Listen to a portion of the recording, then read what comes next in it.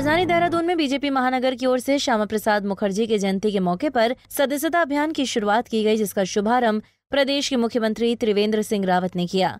इस दौरान कार्यक्रम में देहरादून के विधायक और ऋषिकेश देहरादून के मेयर के साथ ही बीजेपी के तमाम वरिष्ठ पदाधिकारी और कार्यकर्ता मौजूद रहे।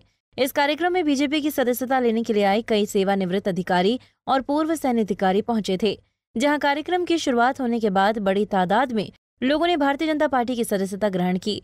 वहीं मुख्यमंत्री ने मीडिया से मुखातिब होते हुए कहा, उत्तराखंड में लोकसभा चुनाव के दौरान भारतीय जनता पार्टी को इकसठ फ़ीसदी मत पड़े थे। लिहाजा उन लोगों को बीजेपी से जोड़ने का लक्ष्य निर्धारित किया गया है, जिसके लिए संगठन के पदाधिकारी, कार्यकर्ता और बूथ लेवल के कार्यकर्ता हर क्षेत्र के लोगों को पार्टी की सदस्यता ग्रहण कराने में महत्वपूर्ण भूमिका अदा करेंगे।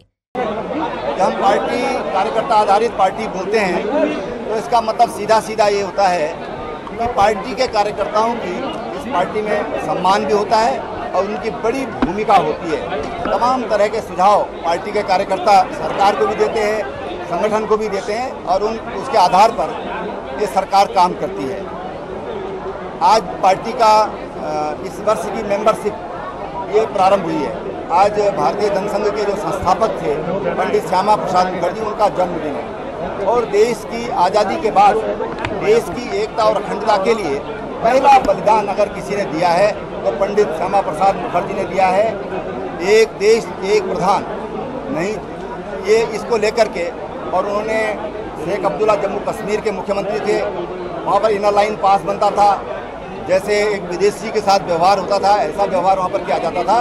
उसके खिलाफ उन्होंने बिना परमिट के कश्मीर में प्रवेश किया था, और उसके बाद उनकी, आज भी उनकी जो मौत हुई, आज भी उसका संशय हटा नहीं है।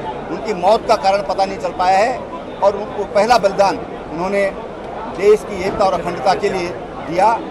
वहीं अल्मोड़ा में भी बीजेपी ने अपनी सदस्यता अभियान की शुरुआत कर दी है। डिप्टी स्पीकर रघुनाथ सिंह चौहान ने इस अभियान की शुरुआत की। बता दें कि अल्मोड़ा ज़िले में सत्तर हज़ार नए सदस्यों को बनाने का लक्ष्य रखा गया जिसके लिए सभी कार्यकर्ताओं को लक्ष्य दिया गया है। हमारे अमित शाह जी हमारे प्रदेश के हमारे मुख्यमंत्री हमारे सिंह रावत जी हमारे अजय भट्ट जी।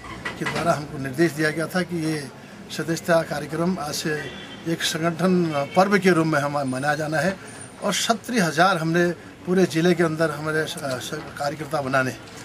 और पचास जो सक्रिय जो सक्रिय सदस्य वही बनाएगा, जो पचास सदस्य बनाएगा तो ये हमको आदेश हुए हैं।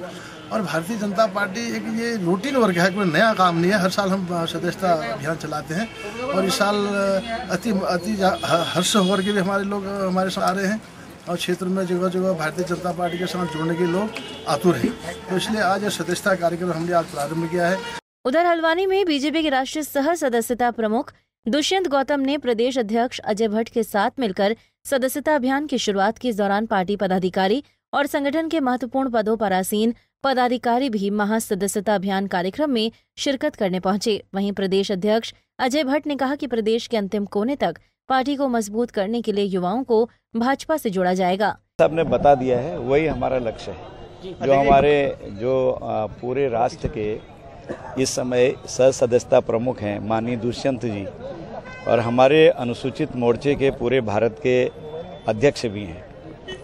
तो उन्होंने जो लक्ष्य बताया है वो लक्ष्य ही हमारा स्थिर लक्ष्य है। वैसे उत्साह इतना हो गया कार्यकर्ताओं में कि एक बूथ से 100, 200, 300, 400, 500 लोग होड़ लगाए हैं कि मेरा बूथ सबसे मज़बूत जो हम कहते हैं तो उसी तरह का यहाँ भी हिसाब चल रहा है कि ज़्यादा कौन बनाता है।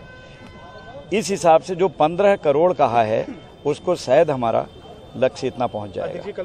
लोकसभा चुनाव के बाद अब भारतीय जनता पार्टी विधानसभा चुनाव को लेकर एक्टिव हो गई है। प्रधानमंत्री नरेंद्र मोदी आज अपने संसदीय क्षेत्र वाराणसी में पौधरोपण के बाद भाजपा के राष्ट्रव्यापी सदस्यता अभियान का आगाज़ किया। बीजेपी का लक्ष्य पार्टी के सदस्यों की संख्या को 11 करोड़ से बढ़ाकर 20 करोड़ करने का है। पंजाब केसरी टीवी के लिए देहरादून से कुलदीप रावत और अल्मोड़ा से निर्मल उप्रीति और हल्द्वानी से तारा जोशी की रिपोर्ट।